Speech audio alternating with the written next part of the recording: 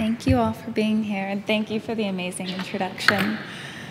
Um, so, I wanted to tell you a bit about myself before um, I dive into talking about sexual assault.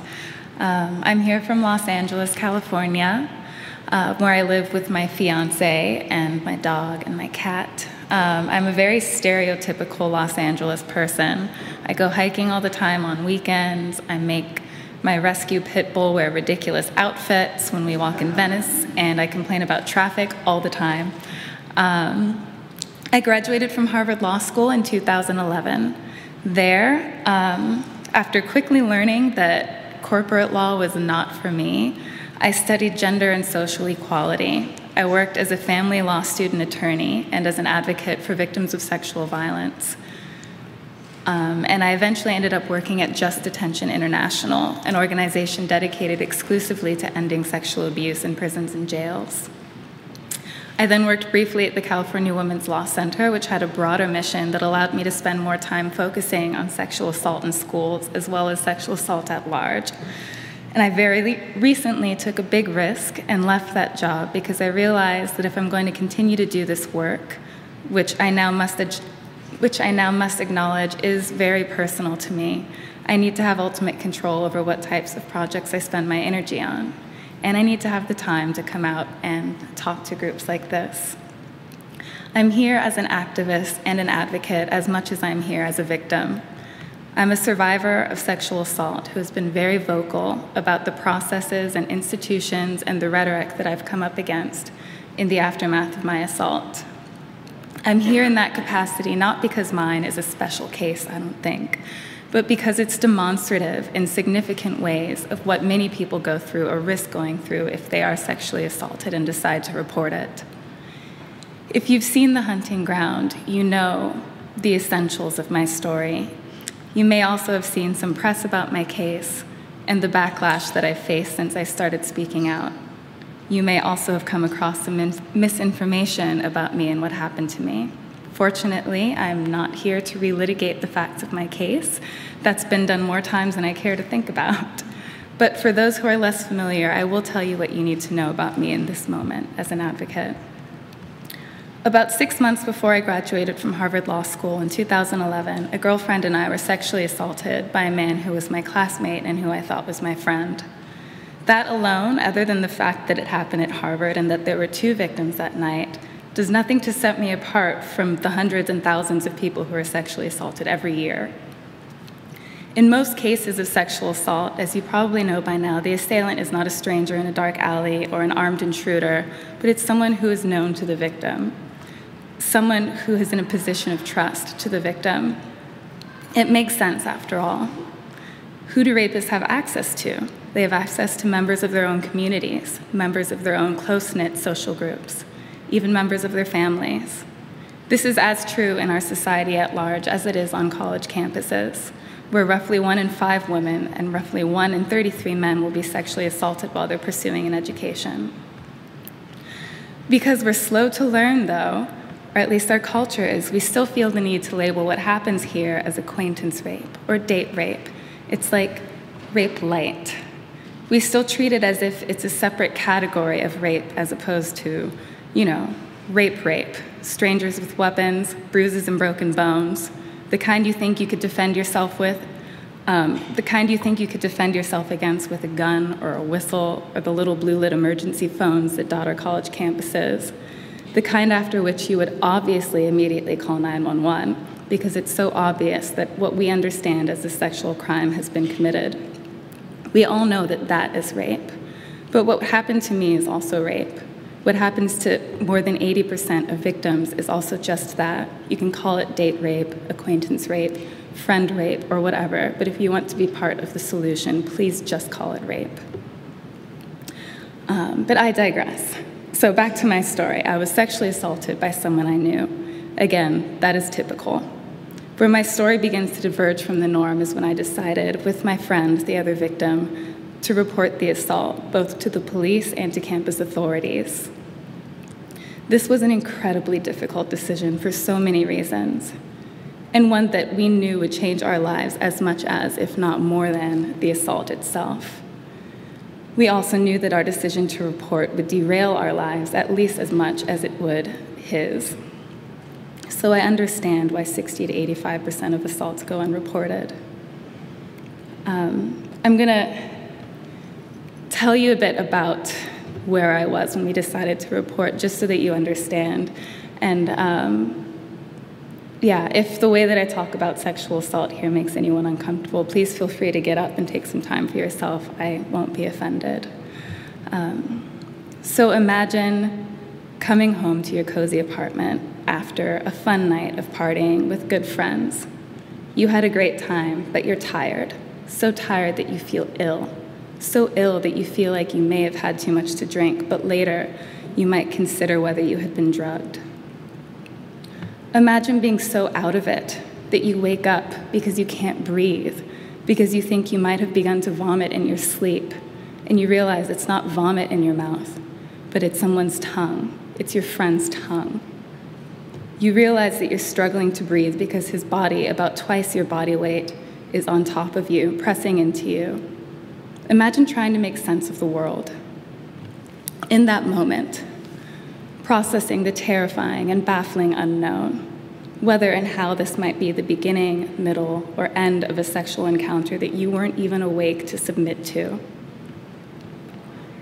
And that was just the beginning of my nightmare. So if we fast forward for a couple of hours, now I got to confront all the ways in which I was not a perfect victim which I, will, which I knew I would have to explain if I reported. I drank and I did drugs and I danced promiscuously when I was out with friends before the assault. During the assault, I didn't bite or kick or scream or fight back, but that's because I didn't know what was happening. I was barely conscious. And at that point, I didn't know this man, my friend, as a potential monster. I knew him as a good friend as one of my favorite people, actually, someone who I could let my guard down around. I didn't call the police immediately, but then again, I didn't understand what had just happened. In the hours and even days afterward, I struggled to wrap my head around it, to reconcile the friendship that I thought I had and the sense of security in my home and with my peers that I had felt with the thing that I woke up to happening to me. I did end up reporting, and I dealt with recurring nightmares and panic attacks in addition to having to explain over and over for years why I didn't do more to fight, why I let myself get comfortable enough to be assaulted by a friend in the first place, why I didn't call the police immediately, why I look more angry than sad when I talk about it, even though we know sobbing women are rarely deemed credible witnesses. All the while, I had to remind myself it's not my fault. It's not my fault even when it feels like everyone and everything is insisting that it is. All of that could have been avoided if those responsible for the adjudication processes, the investigation, or those who task themselves with the role of commentator or policymaker regarding how these processes play out, if any of those people had the most basic, elementary understanding of trauma in the context of sexual assault. So I'm here because I'm among the minority of sexual assault victims who reported the assault, both to my school and to the police, and exhausted both processes. My school found my assailant responsible and his actions worthy of the sanction of expulsion, and I had a positive experience with law enforcement. They believed me, they treated me respectfully and with compassion, and the district attorney believed me and decided to press charges. Again, all of these are incredibly rare outcomes, victories, if you will, for survivors of sexual assault. And then I was let down. My school conducted a year long secret appeals process without informing or involving me, which resulted in my assailant being readmitted without so much as a disciplinary blemish on his transcript. In the criminal case, the grand jury returned indictments for the assaults that I witnessed, but not those that were inflicted on me. After an incredibly painful and drawn out trial, and an entire four years down the line, he was convicted of a misdemeanor that didn't make sense given a few and given a few months probation. He'll be graduating from Harvard Law this summer, I expect. Meanwhile, my school itself has been silent about what went wrong in its process, which the Office of Civil Rights forced it to change as a result of my Title IX complaint, which was joined with others. There's been no apology, no acknowledgement of wrongdoing. It's like I don't exist to the administration. I spoke out in the hunting ground about what happened there, about what went wrong, because it's unacceptable and no school should be above accountability. And then 19 of my for former Harvard Law professors teamed up with my assailant's defense attorney and crisis PR firm, believe it or not, as well as, as, well as a few notorious rape denying journalists, and decided to further degrade me in what I can only imagine is an effort to put me in my place. And again, through my tears, I've decided to fight back. I wrote an open letter addressing those professors, which is now making the rounds in the media. I've also written an open letter to one of the journalists who attacked me, who's notorious for addressing campus sexual assault with nuanced thoughts such as college women, stop getting drunk. I'm tired and I'm hurt, and this is hard for me, but I do it in part for myself to reclaim what was taken from me that night and to combat the shame that these people keep trying to hurl back at me and at all survivors who see bits of their own stories in mine. The shame is not ours to keep. I do this because every day I meet survivors who tell me how devastated they were by the attacks that I've endured, many from my own professors, because they feel attacked themselves and how the strength that I've shown makes them feel strong and empowered. So, why am I telling you all of this? It depends on who's listening and why. I'm here as a cautionary tale for anyone who thinks that they can get by relying on the silence of victims of sexual violence, or who attempts to impose that silence with their loud and misplaced skepticism. I'm here as a victim of sexual assault who is a person who wants you to see that I'm a person, that we are all real people, and we find many, many ways to be brave and to survive in spite of the hurt that we carry. I'm here so that you understand that this is not an issue of hypersensitive victim girls and misunderstood horny boys. People are complicated, but sexual assault is not. Sexual assault is fairly straightforward. People don't have trauma reactions to bad sex. People don't risk their education, careers, reputation, and well being reporting regretted sex, whatever that is, or frisky misunderstandings.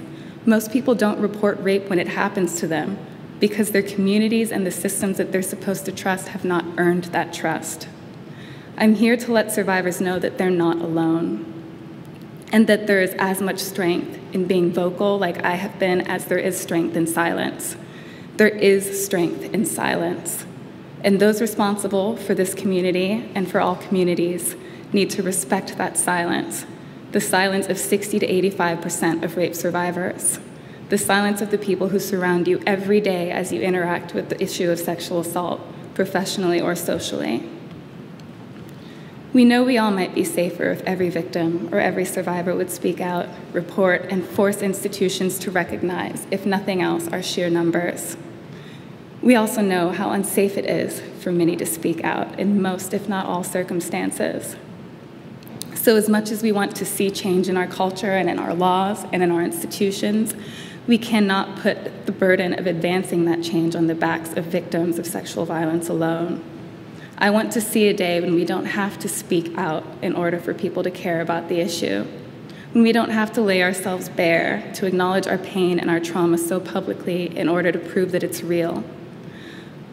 I know that that's where we are, and I'm glad that I'm able to do this work, but we have to strive to do better.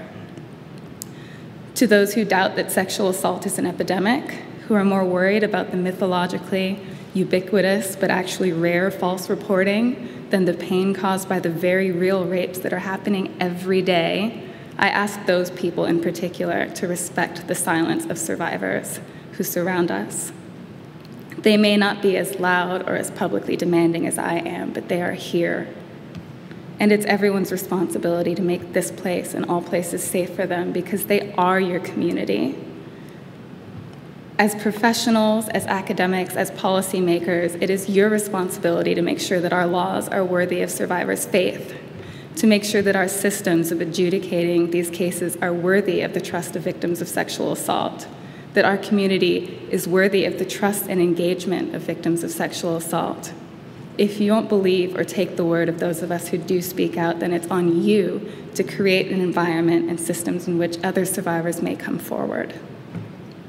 It makes me very sad how many people in positions of authority seem more focused instead on gaining the trust of those who may be accused of rape, who are 92 to 98% of the time actual rapists. We all want fair, reliable, adjudicative processes, and it's misleading to promote the idea that only those who defend the accused care about due process.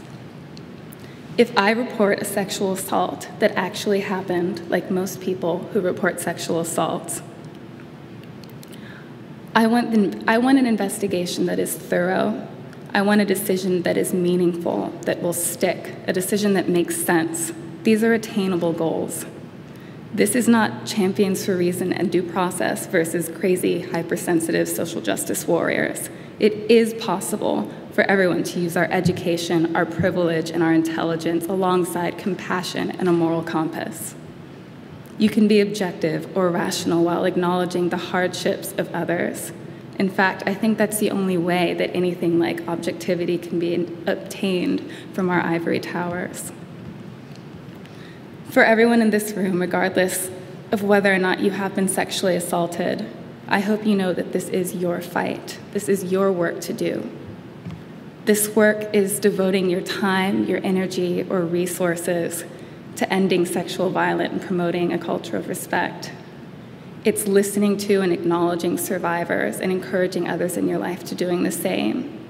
It's getting out of bed every day as a survivor and acknowledging your pain and embracing your anger when it's productive. Sexual abuse and harassment concern everyone, could happen to anyone, and an environment that fails to properly address it makes everyone less safe. Know that as you incorporate this work into your lives to whatever extent, we all deserve to be safe. We all deserve to be treated with respect and dignity and to have our rights respected as equals among our peers. Whether you're a student, whether you're a policymaker, whether you're a professor, you deserve to know that if you are violated, the institutions you're supposed to place your trust and faith in are worthy of that trust. Students deserve to know that reporting a sexual assault, if it should ever happen to them, and if they decide that reporting is what they want to do, that this will not be a journey of martyrdom and self sacrifice. Students deserve a less than 1 in 5 or 1 in 33 chance of being sexually assaulted while trying to get an education. Students deserve a community that won't turn on them or treat them as a traitor if they ever do have to disclose their wounds as proof of that, of that community's shortcomings. I'm happy to do this work, but I hope that one day I won't have to. Thank you all for having me and for listening.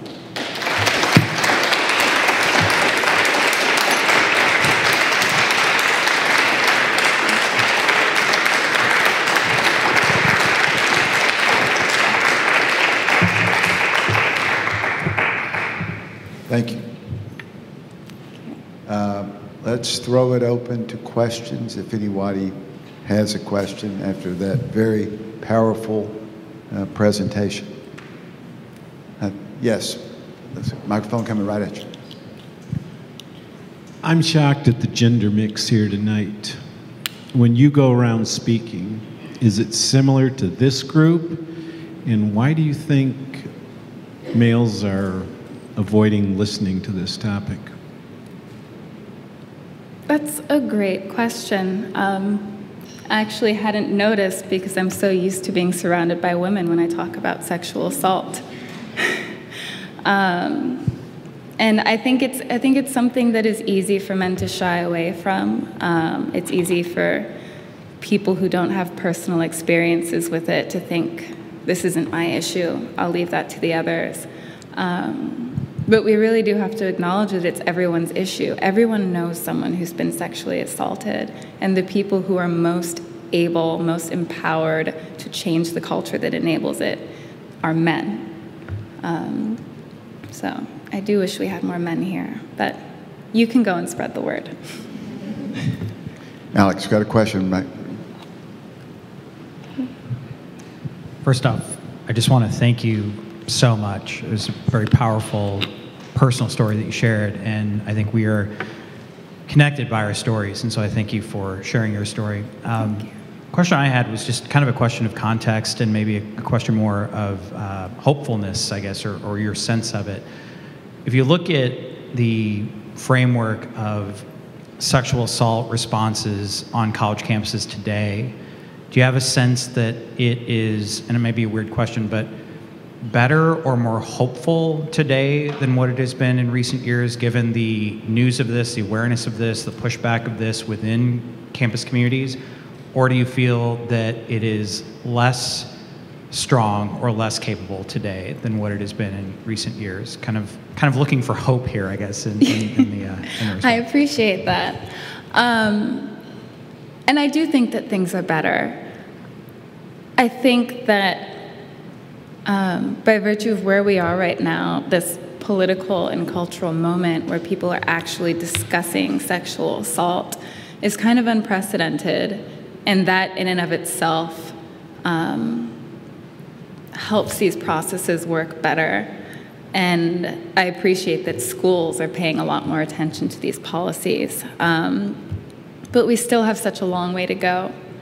You know, what are, what are new policies without the necessary top down institutional cultural change to actually implement them?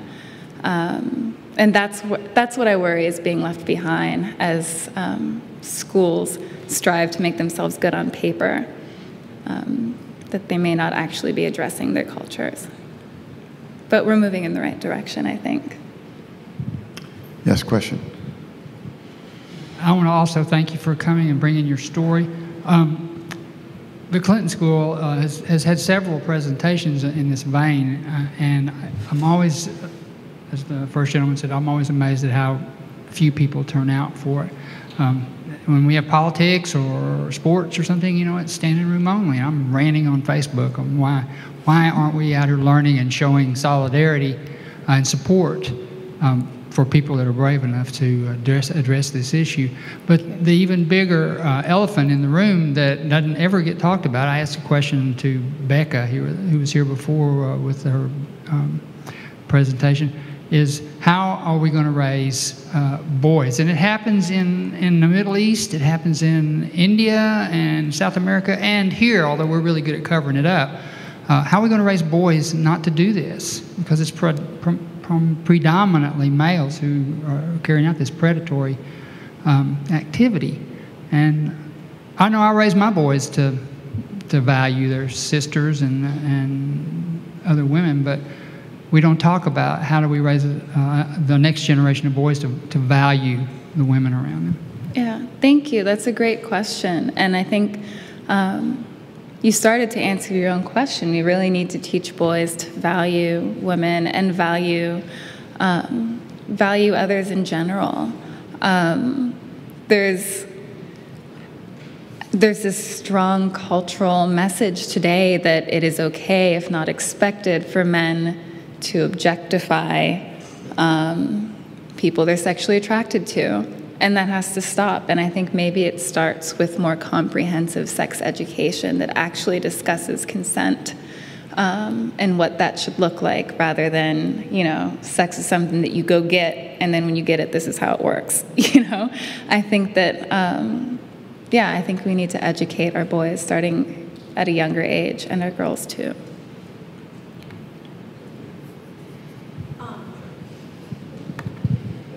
Well, um, my original question was similar to hers, but I do have a follow-up question. Um, and my name is Sochi Delgado. I'm a first-year Clinton School student.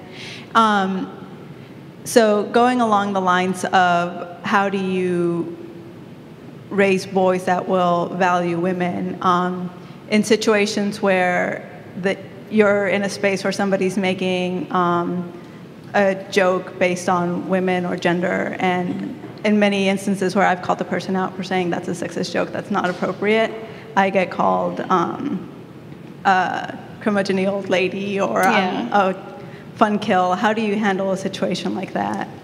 Um, I mean, that's why we need more male allies, because, you know, if another guy steps up instead of laughing at the joke or just quietly kind of averting his eyes, they're not going to call him like a super sensitive old lady.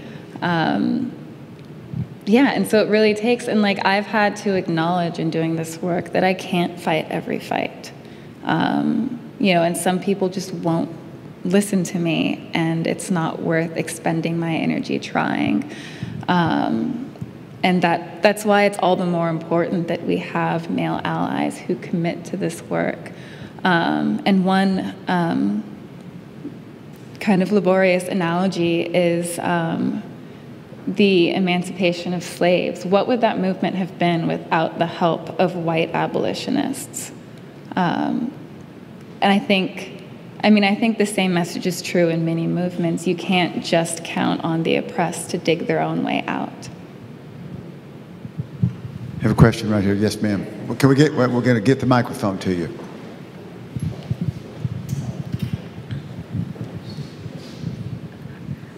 Thank you for coming to Little Rock. I have a twofold question. One is um, I'm a clinical psychologist, and um, I'm always concerned about uh, the support that uh, advocates who take on these kinds of issues have in um, launching this work. Mm-hmm. Uh, what type of support did you have? I um, get the impression that you have a strong inner core, uh, but even those with strong inner cores need some type of support doing this work. That's the first part of my question. Mm-hmm. Secondly, are you um, contacting or are other uh, institutions of higher education open and receptive to your presentations? Because a lot of this, of course, happens um, in colleges and universities. Yes. Um, to answer the first question, I feel blessed to have um, incredibly supportive family and friends, and um, I don't think I would have even made it through the reporting process without them. Um, and in doing this work, this kinds of advocacy, um, you build a network of people who are going through the same thing, and we learn how to support each other, um, which has been um, something really wonderful that I've discovered since I started speaking out publicly. Um, and to answer your second question, um, the hunting ground has been screened at thousands of colleges and universities, and they are continuing to show it, which I think is incredible. Um, and I am I have been speaking at campuses, and I am happy to continue going because, I mean, as you know, it makes a difference. You know, seeing a film versus interacting with someone from it in person helps um, drive home the message and make it real. So.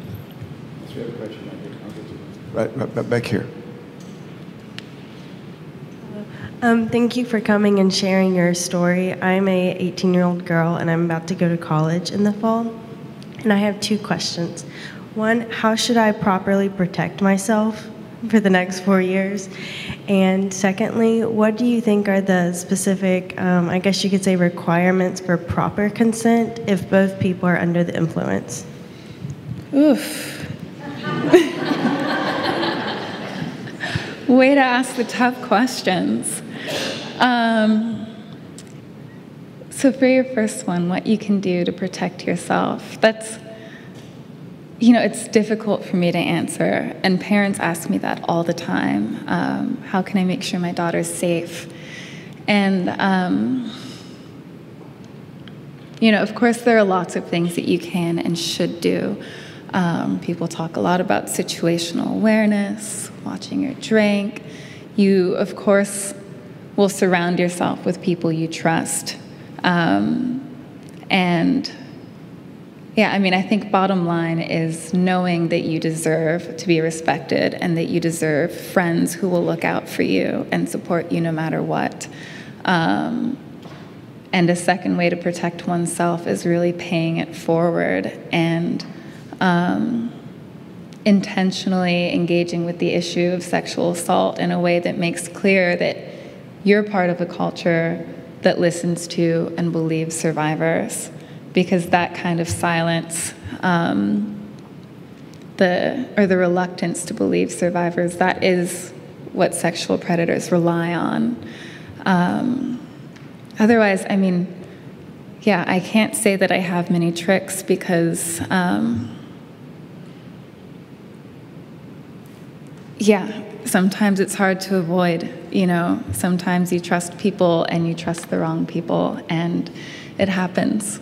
Um, and it's something that it's a question that I can never ask in a way that really feels satisfying because it's hard to answer in a way that, like, dozens of survivors I know um, wouldn't relate to as things that they've tried to do.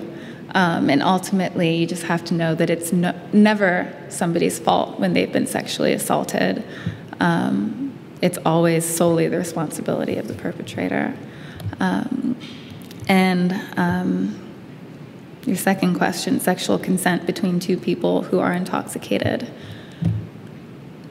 I might have to pass that one or punt it to anyone.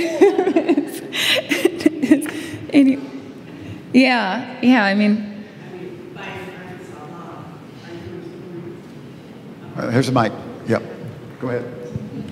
Well, um, we work at a rape crisis center in Fayetteville, and Arkansas law is that the person who you're having sex with um, is unable through mental incapacitation or any other reason to not give consent.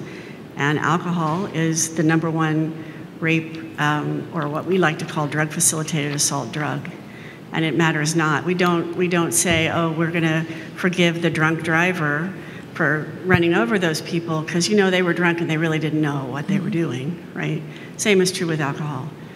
If you really want consent, don't be drinking and getting it because you're both under the influence, neither one. But it's the perpetrator's fault no matter what. thank you. Marcia, do you have a question right here? My name is Marcia Stone. First year student at the Clinton School. Thank you for coming. But my, I'm curious about the um, Harvard undergrad campus. Have you had any um, other survivors reach out to you at the undergrad level, and have you been able to share your story on campus? Um, I have not spoken at the college, but um, I have been in touch with two incredibly brave survivors from Harvard College who've both recently gone public um, Ariane Litalien and Alyssa Leader. Alyssa Leader is um, now suing Harvard College, and Ariane wrote this viral essay a few, I think, last year the year before called Dear Harvard, You Won.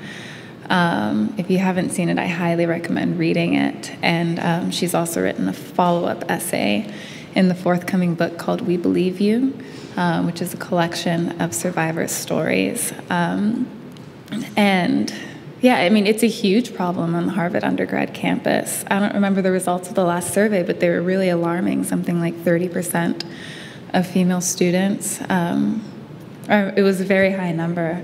Um, and yeah, and there are also issues among the faculty. I mean, and that's what I mean by like top down culture change. They have these fancy new Title IX apologies, but from the administration at the law school and in the college, there's been no acknowledgement of how badly they've gotten it wrong in the past, um, which makes one question their commitment to really doing things better, whether they're just saving face. And um, yeah, if the culture is going to change, there needs to be institutional buy-in, not just covering one's bases.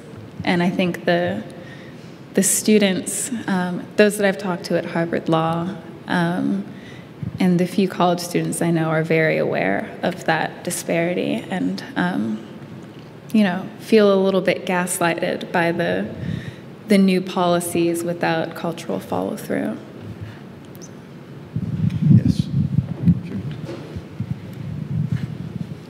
Hello.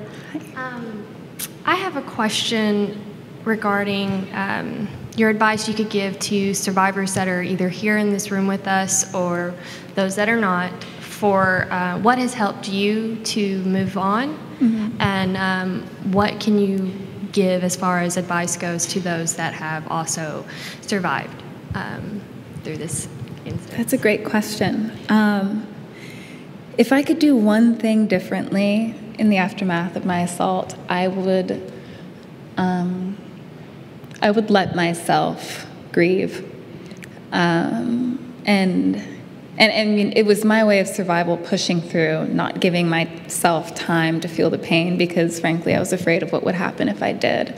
Um, and it's still been um, a challenge for me, and I see that with a lot of other survivors. You know, it's been a year, it's been two years. I can't believe I'm not over this.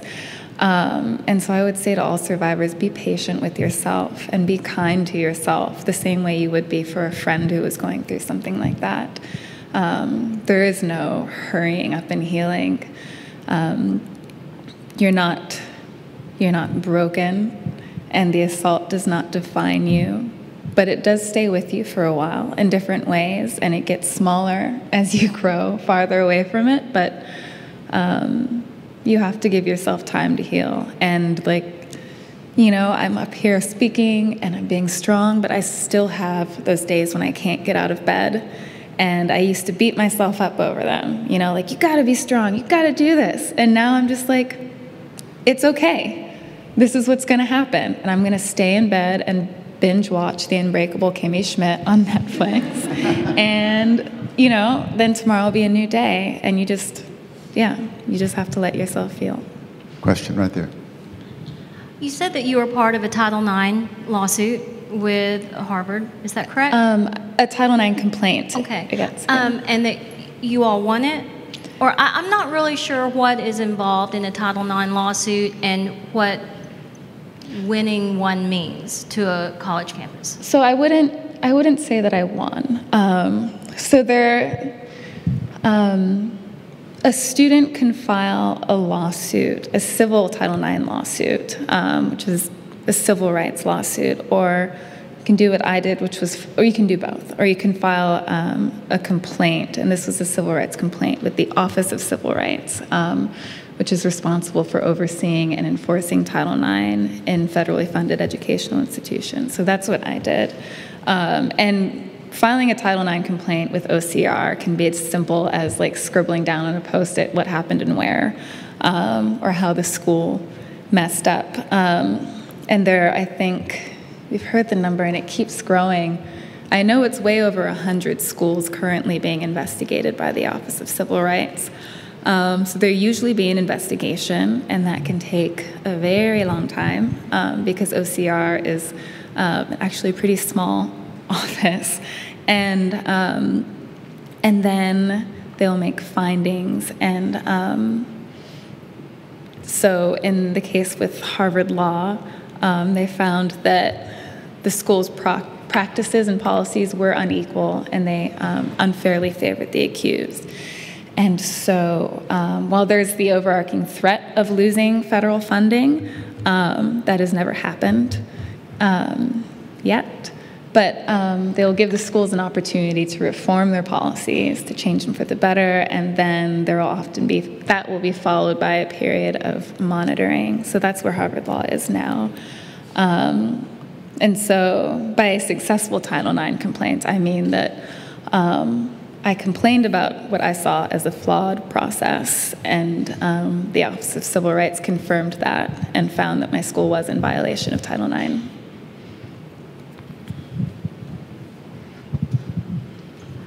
Oh, I just forgot my question. Um, so, I also went to a school that has dealt with certain issues like this.